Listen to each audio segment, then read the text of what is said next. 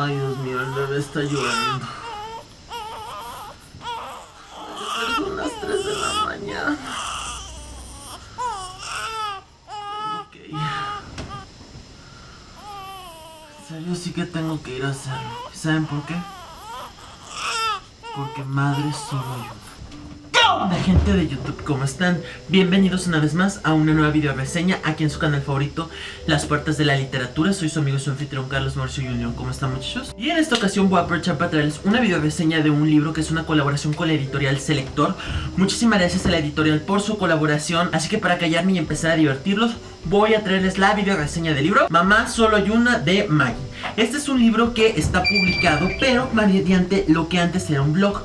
Tiene una iniciativa muy bonita, por no decir que también lo que son buenos colores. Cuenta con la cantidad de 92 páginas, sin solapas, pero tiene un sinfín de ilustraciones que te describen todo, pero todo, todo literalmente de lo que son las cosas que se está viendo. Y este libro no es una historia, sino un manual. Alguna vez muchos de las personas nos hemos preguntado qué es ser una madre.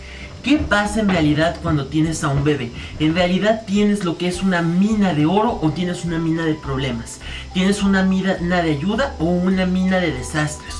Mina de soledad o mina de unión. Todo es lo que vas a poder encontrar en este libro donde vas a poder ver cómo desde una perspectiva muy abierta te enseñan los puntos más fuertes y más profundos de lo que es la maternidad a través de lo que son todas las etapas, todos los tipos de madres y todo y toda una forma que mejor me cae. ¿Y qué podemos ver en este libro? Primero voy a decir algo y es que yo como hombre al principio creí que esto no me iba a quedar porque esto es más para mujeres, pero sí tiene unos enfoques atractivos para lo que es la paternidad o para los padres solteros. Aquí, aunque yo no soy mujer, sí pude entender mucho de lo que sufre una madre cuando al principio está conociendo al bebé. Ya después, cuando vas avanzando, también encuentras muy buenos detalles que te ayudan a entender qué debe y qué no debe hacer alguien cuando está cerca de un bebé.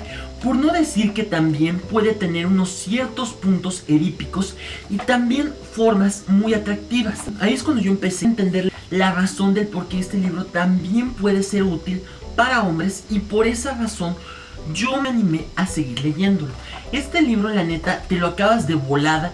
Tiene diferentes tipos de descripciones, tanto como lo que es cuando discuten, cuando las personas piensan de ti, qué decirles a esas personas, qué debes incluso hacer en casos de emergencia, los tipos de madres que existen, porque la neta, una madre es una mujer muy hermosa y yo por eso este libro le puedo decir que sí lo recomiendo, está padre, voy a darle la cantidad de 5 estrellas, porque el libro me gustó, me encantó.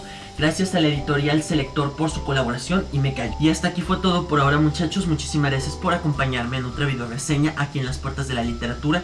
Sigan acompañando y no me voy sin antes decirles que la próxima video reseña le va a tener que tocar al libro. Retrato de Dorian Gray de Oscar Wilde. No se lo pierdan ni bye.